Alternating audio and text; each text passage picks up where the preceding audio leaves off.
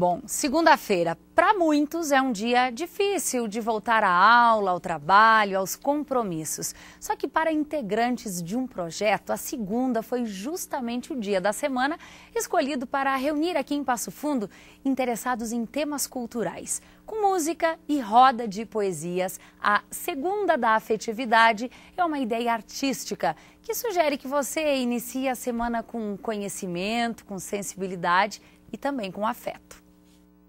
Aqui, o sentir vem antes do cotidiano, das obrigações individuais. Sentir primeiro, ler, transmitir, se fazer ouvir, sentir de novo.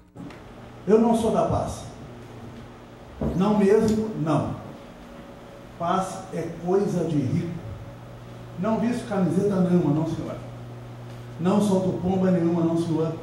Não venha me pedir para eu chorar mais. Secou. A paz é uma desgraça. Uma desgraça. Marcelino Freire, Mayakovsky, Leminski, Bocage, Ana Cristina César. Desta vez a noite foi dedicada aos escritores e poetas considerados malditos. O maldito ele, ele é um sujeito que mexe com aquela tranquilidade estabelecida em, qualquer, em qualquer sociedade e o que faz o maldito não é a sua condição natural, mas é a sua ação. A atribuição foi dada a autores que, a partir dos próprios pensamentos e criações literárias, romperam e se rebelaram contra as tradições e costumes de uma época. As obras produzidas foram censuradas, mas com o passar dos anos, as publicações foram entendidas como um meio de mexer com a moralidade estabelecida.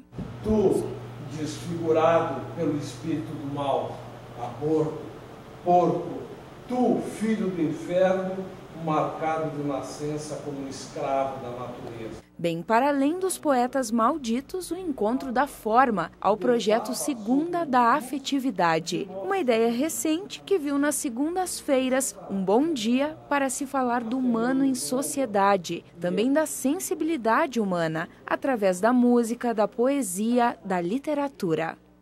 Escreve pronto. Escrevo porque preciso. Preciso porque estou torto. Passo Fundo precisava desse afeto cultural.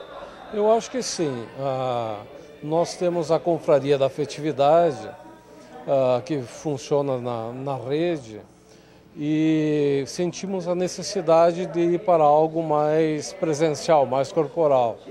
Então, nós temos este ambiente que, uma vez por semana, segunda-feira, se fala de poesia, se fala de autores, se fala de poetas e fundamentalmente nós temos poetas para dizer os seus poemas. Será um homicídio da própria língua, mas se é própria, seria suicídio.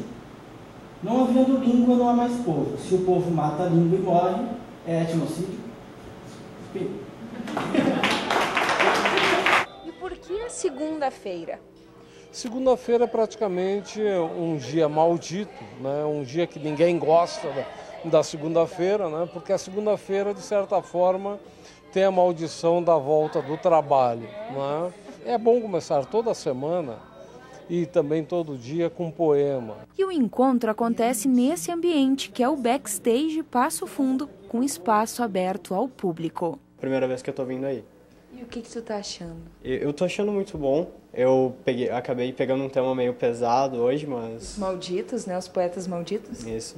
Mas eu acho que está sendo muito bom. Devagar, peça mais, e mais, e mais. Acreditei que se amasse de novo, esqueceria outros.